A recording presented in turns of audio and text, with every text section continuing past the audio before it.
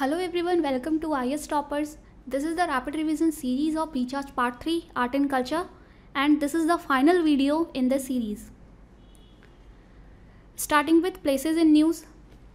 the first topic is Ram Mandir at Ayodhya a grand temple is being constructed in Ram Janmabhoomi Ayodhya Ayodhya में एक राम मंदिर बन रहा है grand Ram Mandir and जो इसके स्टाइल ऑफ़ कंस्ट्रक्शन है, वो है Nagara style of temple architecture India में प्राइमरली थ्री स्टाइल्स होती हैं टेंपल आर्किटेक्चर की. नागरा स्टाइल वैशारा स्टाइल और ड्रेविडा स्टाइल तो किसी भी स्टाइल के, अभी हम नागरा स्टाइल और द्रविडा स्टाइल के कुछ डिफरेंसेस पढ़ने वाले हैं। उससे पहले, जितने भी हिंदू टेम्पल्स होते हैं तो उनके जो आर्किटेक्चर होता है, उसमें कुछ कॉमन एलिमेंट्स होते हैं, ठीक है? तो वो क्या कॉमन एलिमेंट्स होते हैं, वो जान लेते हैं। First element is garbhagriha. Garbhagriha क्या होता है? एक प्रिंसिपल रूम होता है स्मॉल रूम जहाँ पे जो टेंपल की मेन डीटी होती है, उसको प्लेस किया जाता है उनको okay so that is garbhagriha a small room for main deity of the temple okay and second is mandapa means a hall okay so it is like pillared hall जहाँ पे बहुत सारे लोग गैदर हो सकते हैं किसी भी टेंपल सेरेमनी के लिए ओके okay? और ये जो नागरा स्टाइल ऑफ़ टेंपल है, इसमें डिफरेंट होता है और डेविडा स्टाइल ऑफ़ टेंपल में डिफरेंट होते हैं, आगे जानेंगे। So basically mandapas are pillared halls for gathering of people shikhara is a tower like structure and it is placed above garbhagriha. जैसे आप ये टेंपल देख सकते हैं this is the map of Ram Mandir and यहाँ पे जो सबसे टॉलेस्ट स्ट्रक्चर आपको दिख रहा है तो this is shikhara okay this one structure और इसके जो नीचे होगा तो यहाँ पे गर्भगृह होगा, जहाँ पे मेन डिटी प्लेस्ड होंगी ओके तो shikhara is a tower like structure और इसके शेप्स चेंज हो सकते हैं और ये पिरामिडल होता है ड्रेविडा स्टाइल में और कर्वी लीनियर या फिर कर्व्ड होता है इन नागरा स्टाइल तो राम मंदिर टेंपल कॉम्प्लेक्स का एरिया होगा, वो होगा 57 एकर्स का और जो टेंपल का एरिया होगा, वो होगा 10 एकर्स में. तो this is in Nagara style तो यहाँ पे फाइव मंड फाइव डोम्स बनेंगे ओके फाइव मंडप्स तो these are the mandaps you can see this is first mandap this is second this is third this is fourth और उसके उस side fifth okay and this is shikhara Nagara style of temple architecture और डेविडा style में differences देख लेते हैं। ये राइट right साइड में आपको इमेज दिख रही है। जो टॉप पे इमेज है this is a Nagara style of temple and this is a डेविडा style of temple Nagara style northern India में होती है। यहाँ पे जो टेंपल कंस्ट्रक्ट किया जाता है, ये एक अप्रेस्ड प्लेटफॉर्म, जिसे जगाती बोलते हैं। यानी ग्राउंड लेवल से अप्रेस्ड एक प्लेटफॉर्म होता है, जहाँ पे टेंपल कंस्ट्रक्ट किया जाता है। टेंपल में क्या होता है, नॉर्थ इंडिया के मल्टीपल टावर्स होते हैं या फिर मंडप्स होते हैं। जैसे आप लास्ट इमेज में देख सकते थे कि यहाँ पे मल्टीपल टावर्स है और उसके बाद ये मेन गर्भगृह है, ओके? जबकि साउथ इंडिया के टेम्पल्स में सिंगल टावर होता है। फाइन। तो नॉर्थ इंडिया में मल्टीपल टावर्स होते हैं, जिनको क्या बोलते हैं? मंडप्स भी बोलते हैं। तो like this is ardha mandap this is mandap these are towering structures and mahamandap भी होता है किसी टेम्पल्स में ओके फिर क्या होता है? गर्भगृह होता है which is located directly under the tallest tower shikhar okay so this is the shikhar of the temple I hope अब आप आइडेंटिफाई कर लेंगे एलिमेंट्स तो this is shikhar. Of north India और शिखर क्या होता है? नॉर्थ इंडिया में कर्व्ड होता है ओके सो so, आपको दिख रहा है दिस इज़ कर्व्ड एंड इसके डायरेक्टली नीचे जो ये एरिया होती है ये this is garbhagriha the place for main deity and shikhar के ऊपर ये एक डिस्क लाइक स्ट्रक्चर होता है जिसे अमालका बोलते हैं और इस डिस्क लाइक स्ट्रक्चर के ऊपर होता है kalash okay so this is the style of Nagara temples and यहाँ पे क्या होता है? गोपुरम अपसेंट होता है। अभी देखेंगे गोपुरम क्या होता है। जो टेंपल होता है this is use mainly for religious purposes in north India now let's see about Dravida style temples these are constructed in southern india and they have single tower. They don't have multiple mandapas they have mandapas mandapas होते हैं उनके पास, जो कि gathering के लिए halls होते हैं. These are halls but they have a single tower और शिखर. बट जिस, हम यहाँ शिखर बोलते हैं नागरा स्टाइल में but in southern India we call this towering structure as vimana we don't call it as shikhar जो टावर है this is called as vimana okay vimana और जो विमाना होता है this is in pyramidal shape okay vimana के ऊपर जो आपको ये स्ट्रक्चर दिख रहा है तो इसको बोलते हैं shikhar it is much like amalaka okay तो this is vimana tower like structure this structure is shikhar और शिखर के ऊपर कलश टाइप स्ट्रक्चर होता है. फाइन और जो गोपुरम होते हैं, ये साउथ इंडियन टेम्पल्स में होता है नॉर्थ इंडिया में मिसिंग होता है तो gopuram, gopurams are gateways temple enter करने के लिए डेकोरेटेड गेटवेज बनाए जाते हैं डेकोरेटेड एंट्रेंस जिन्हें गोपुरम बोलते हैं. और जो यहाँ पे शिखर के ऊपर जनरली वाटर टैंक प्रेजेंट रहता है साउथ इंडिया में, और ये वाटर टैंक अपसेंट रहता है नागरा स्टाइल ऑफ़ टेम्पल्स में. जो साउथ इंडिया के टेम्पल्स हैं they are use for religious as well as administrative purposes also fine next topic is tribe and communities Toda tribe so ये ट्राइब न्यूज़ में थी अभी लॉकडाउन के टाइम पे दे वो making mask out of this their Toda embroidery तो Toda embroidery क्या होती है? टोडा टाइप्स क्या होता है? They are ethnic group who live in Nilgiri mountains of Tamil Nadu Tamil Nadu में नीलगिरी माउंटेन रेंज है, ये आप मैप में देख सकते हैं. ये जो ये वाला एरिया है तमिलनाडु का नॉर्थ वेस्ट एरिया बोल सकते हैं। तो यहाँ पे प्रेजेंट है नीलगिरी हिल्स। तो ये एथनिक ट्राइब्स यहाँ पे रहती है। ओके okay, तो इनकी लैंग्वेज होती है Toda language which is a Dravidian language but it is slightly different from other Dravidian languages the tribe is a pastoral tribe यानी कैटल रियरिंग ये वर्क्स में इंगेज रहता है। और ये लोग करते हैं टोडा एम्ब्रॉयडरी जिसका मेन मटेरियल होता है अनब्लीस्ड वाइट कॉटन ओके? इसके ऊपर ये हैंड से एम्ब्रॉयड्रीज करते हैं तो एम्ब्रॉयड्रीज बेसिकली रेड और ब्लैक कलर में होती है। And this Toda embroidery is a GI product of Tamil Nadu तो आप मैप में देख सकते हैं कि नीलगिरी रेंज का जो सबसे हाईएस्ट पीक है that is Doda Betta peak okay fine तो आपने ध्यान रखना है Toda tribes are from Nilgiri hills and that is from Tamil Nadu and Toda embroidery is a GI product of Tamil Nadu next topic is Siddi community तो अभी Karnataka government ने nominate किया है मिस्टर शांताराम बुढ़ना सिद्धि को as member of legislative council of Karnataka. तो वो Siddi community को represent करने वाले पहले रिप्रेजेंटेटिव होंगे ओके तो सिद्धि कम्युनिटी क्या है? ये एक ट्राइबल कम्युनिटी है, जो इंक्लूडेड है as schedule tribe in Karnataka and also as P V T G particularly vulnerable tribal groups इसके बारे में हम डिस्कस कर चुके हैं प्रीवियस वीडियोस में ओके तो जो सिद्धि कम्युनिटी है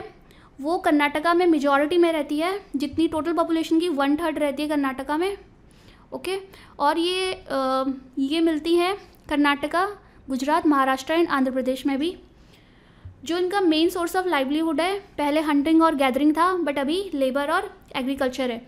जो ये ट्राइब है they are descendants from East African region और ये स्लेब्स की तरह इंडिया में लाए गए थे बाई पोर्टुगीज मर्चेंट्स आप इनके फेशियल स्ट्रक्चर से पता लगा सकते हैं कि इनका ओरिजिन अफ्रीकन जैसा है ओके दे स्पीक सिद्धी भाषा, Siddi language fine Katkari tribes Katkari tribes is also one of seventy five particularly vulnerable tribal groups in India they are distributed in the part of Maharashtra and part of Gujarat they are historically they were historically forest dwellers ठीक है, ये forest में रहते थे और ये primarily forest based activities करते थे, जिसके नाम पे ही इनका नाम कटकरी पड़ा। तो ये कटकरी लैंग्वेज बोलते हैं और मराठी लैंग्वेज भी बोलते हैं बिकॉज़ ऑफ़ दिस जिस रीज़न में ये रहते हैं। तो अर्लियर जो ये ट्राइब थी, ये इंक्लूड हुई थी एज अ क्रिमिनल ट्राइब की तरह। अंडर क्रिमिनल ट्राइब्स एक्ट 1871 ये एक एक्ट था जो जो ब्रिटिश ने, ब्रिटिश गवर्नमेंट ने इंट्रोड्यूस किया था इंडिया में, जिसके अंदर क्या होता था कि कुछ ट्राइब्स को ब्रांड कर दिया जाता था कि ये क्रिमिनल ट्राइब्स हैं, और फिर उनके बाद उनके मूवमेंट पे रेस्ट्रिक्शंस लगा दिए जाते थे और उनको रिपोर्ट करना पड़ता था फिक्स इंटरवल ऑफ़ टाइम पे ब्रिटिश गवर्नमेंट को ओके तो अर्लियर इनका नाम था क्रिमिनल ट्राइब्स इंडिया के इंडिपेंडेंस के बाद ये एक्ट को रिमूव कर दिया गया। तो कटकरी ट्राइब्स अभी ये न्यूज़ में थी because they was selling giloy for treatment of viral fever malaria and diabetes okay next topic is Bonda tribe so Bonda tribe is also a P B T G in Orissa they are found in the hill ranges of Malkangiri district जो कि है उड़ीसा में. ये small settlements में रहते हैं. और ये बोला जाता है कि they were among first migrants out of Africa Africa से जो फ़र्स्ट फॉरेस्ट सेटलर्स आए थे इंडिया में, ये उनमें से एक थे ओके तो ये मेंबर्स हैं ऑस्ट्रो एशियाटिक ट्राइब्स के, और ये रेमो लैंग्वेज बोलते हैं। तो आपने इतना ध्यान रखना है बस कि जो बोंडा ट्राइब है, ये एक ट्राइबल कम्युनिटी है, कहाँ को बिलोंग करती है? उड़ीसा की ओके और इनका ओरिजिन जो है अफ्रीकन है। उड़ीसा एक ऐसा स्टेट है इंडिया में, जहाँ पे maximum number of tribal diversity है इंडिया की ओके तो यहाँ पे 62 ट्राइबल कम्युनिटीज़ फाइंड की जाती हैं जिसमें से 13 tribals tribal communities P V T G tribal communities हैं okay next topic is miscellaneous Bishu Sendra Parv this is an annual hunting festival which is observe by tribals of Jharkhand Orissa and West Bengal इस बार Covid nineteen के lockdown की वजह से first time ऐसा हुआ कि not a single animal was killed during this festival okay तो जस्ट uh, आपको बस एक थोड़ा आइडिया रखना है कि जो विष्णु विष्णु सेंद्र पर्व है तो it is a tribal festival among Jharkhand Orissa and West Bengal next topic is G I tag for three products that is first product है ब्लैक राइस ओके जिसे चाक हाओ राइस भी बोलते हैं, ठीक है? तो चाक हाओ राइस एक सेंटेड राइस है मणिपुर का, और ये मणिपुर में कई सेंचुरीज से कल्टीवेट हो रहा है। इसकी खास बात ये होती है कि इसकी एक स्पेशल अरोमा होता है जिसकी वजह से इसे जीआई टैग मिला है अभी मणिपुर का। जीआई टैग मिलने के लिए हम हम डिस्कस कर चुके हैं, किसी भी प्रोडक्ट के पास कोई स्पेशल करेक्टरिस्टिक फीचर होना चाहिए। और जो भी ये राइस है, इसकी, इस पर ट्रेडिशनल मेडिसिनल प्रॉपर्टीज़ होती हैं और इसमें एंटीबॉडीज़ होती हैं ओके तो ये नॉर्मली कम्युनिटी फ़ीस के कुक किया जाता है। नेक्स्ट जो जीआई प्रोडक्ट मिला है GI tag that is the terracotta work of Gorakhpur in Uttar Pradesh terracotta का मतलब जो मड से कोई भी वर्क किया जाता है तो दैट इज़ टेरोकोटा वर्क तो यहाँ पे गोरखपुर में आर्टिशंस बनाते हैं। ये जो स्कल्पचर्स uh, होते हैं वेरियस टाइप के फिगर्स होते हैं दे uh, ये इसको बनाते हैं बेयर हैंड्स दैट इज़ कि बिना किसी टूल्स की हेल्प के ये आर्टिशंस बनाते हैं इस टाइप के figures sculptures and they use natural colours next is Kovilpatti Kadalai मिठाई। It is a type of candy which is made of peanuts and grated coconuts यहाँ पर आप देख सकते हैं, चिक्की टाइप है।